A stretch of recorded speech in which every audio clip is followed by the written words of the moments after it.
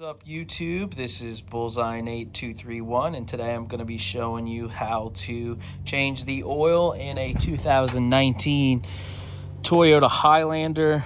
This uh, procedure will be the same for Highlanders from 2014 all the way through 2019. So I'm going to go step by step. I'm going to show you all the tools you need. So I'm just going to go ahead and jump right in. Uh, so you're going to need new oil so I've got a six quarts here. I believe the uh, manufacturer calls for 5.8 quarts. So we're gonna put the five quarts in and then maybe top it off a little bit with that last quart. You're gonna need a new filter. Went ahead and got an OEM Toyota filter. They're not any more expensive than all the other filters like at your local auto parts store.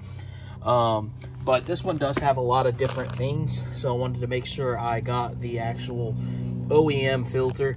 This is a plug. I'll get into all these different parts once we're changing everything, but this is a plug that drains the canister. You've got your new O-rings and your new filter. And then in the bottom down there, you can see that is the uh, compression nut for uh, a compression washer for the uh, oil plug itself. They give you one of those when you buy these at Toyota.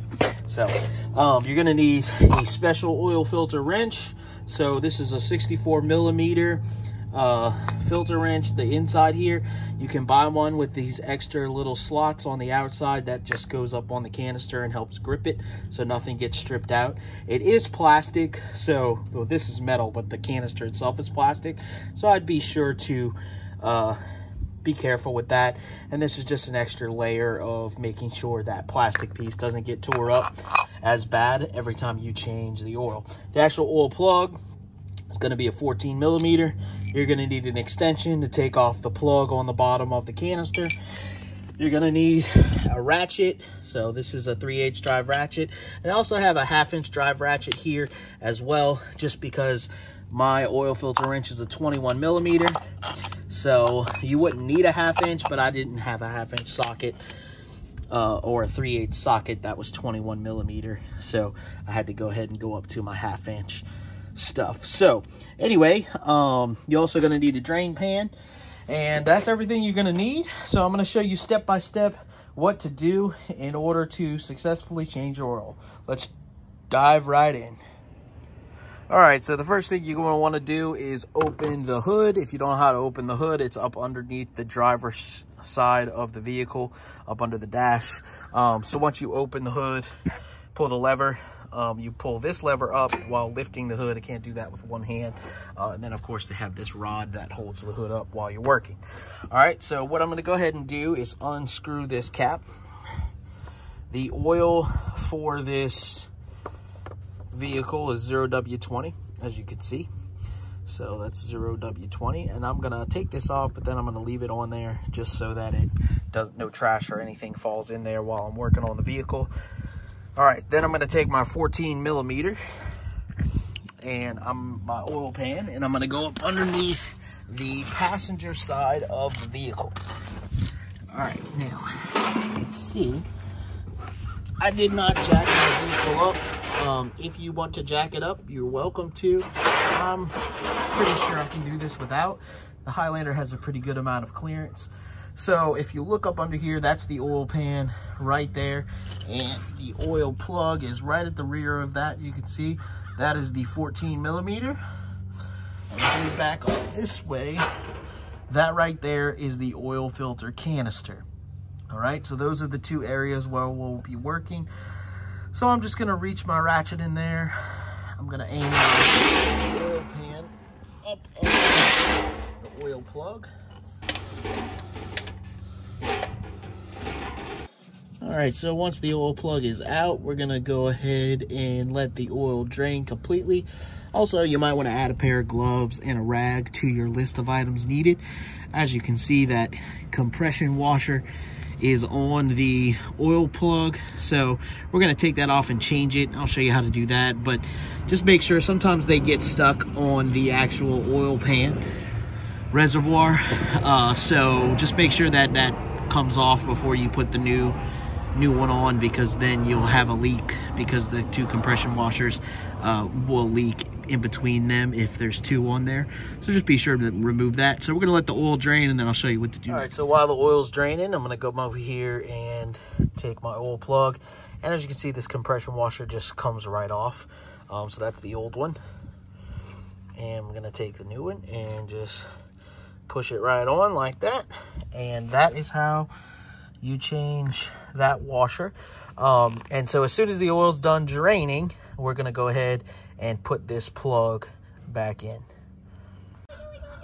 All right, so here's the backside view of the oil plug, uh, just so that you can see for reference point. I wanted to make sure you could uh, get a good visual on what it looks like.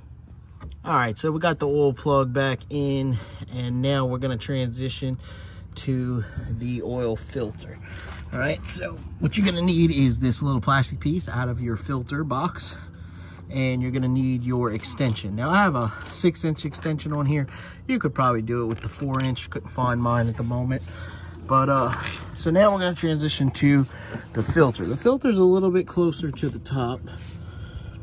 So that's right here. I really had to reach in there to get the oil plug out and in, but it's possible to do without jacking it up.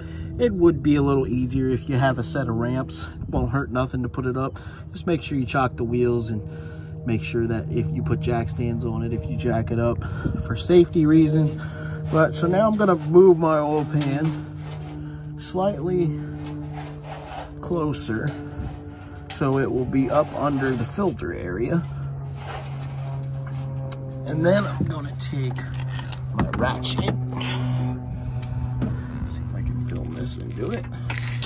And I'm gonna put it right in the slot. All right, I'm gonna need the uh, shorter extension. All right, so I got the smaller extension now. Since I'm not jacked the car since I have not jacked the vehicle up off the ground, I'm gonna have to do it with the short extension so y'all can see. Uh, but you just put it in there. Again, this is a 3H drive. And you're just going to loosen it like that. And now that it's loose, I'm going to reach in there with my hands. And I'm going to unscrew it the rest of the way. Now, there's going to be a little bit of oil that drops with this one. But it's not going to be a ton. It's just going to be what's ever in the actual little reservoir there. Just a drop there.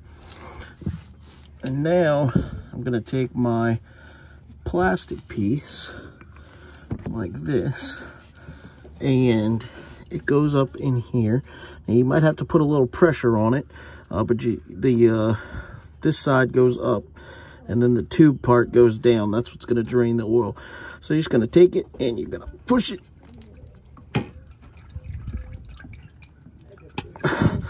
So you really have to push, but as you can see, now it is draining the canister. So once that canister is drained, I'll be ready to pull that out. So we'll wait just a minute and then I'll show you what to do next. All right, so now that the uh, oil filter canister is done draining, uh, I'm gonna go ahead and pull this little plastic piece out. Let's see if I can film this and do it.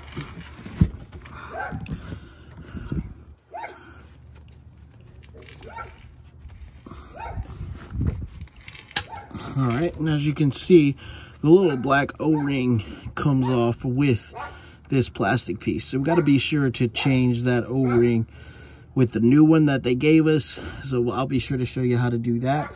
Uh, but now we're going to move the oil pan out of the way and get ready with our filter canister wrench. All right, so now we have the uh, plug pulled out. The canister has been drained. Now I'm going to take my oil filter canister wrench and I'm going to set it up on there.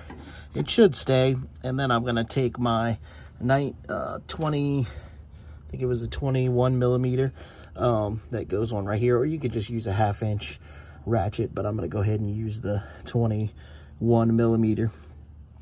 Uh, and I'm going to go ahead and take off the canister. All right, so we got the canister up there. Go ahead and get the 21 millimeter on there. And then I'm gonna twist like so. As you can see, we're just gonna slowly begin to release the canister. And once it gets to a point where it feels like you can turn it with your hand, feel free to go ahead and use your hand to get it the rest of the way off so it doesn't fall on the ground and whatnot. All right, so once you get the canister off, this is what it looks like. Um, you may have a little bit of oil spill out of it, but I'm gonna go ahead and turn it over. You can see some of it's dripping out. So go ahead and get all that dripped out of there. And then we're just gonna dispose of the old filter. You basically just pull it out. So I'll show you how to do that in a second. All right, so as you can see, I got the old filter. Uh, the way that this comes out is just pull it out, but I'm gonna leave it in there for a minute. I'm gonna turn this upside down and I'm gonna get my gaskets and I'm gonna go ahead, well, I got it easy where I can work, put my gasket there and put this plug back in. So now you gotta remember to make sure you tighten that again once you get it on the vehicle. But while everything's out, easy to work on, I'm gonna make sure everything gets cleaned up real good. This is the filter, so we got to make sure all this is clean. So now to get the filter out, you just pull it out like this, then you dispose of it. Just put it right here on the rag for now. Again, we're going to clean everything up. Make sure everything's nice and clean. This is the filter area, so you don't want to have a lot of buildup and grime inside of here. So make sure we get everything real clean. The other thing I'm going to do is change this O-ring here. As you can see, just slides right off.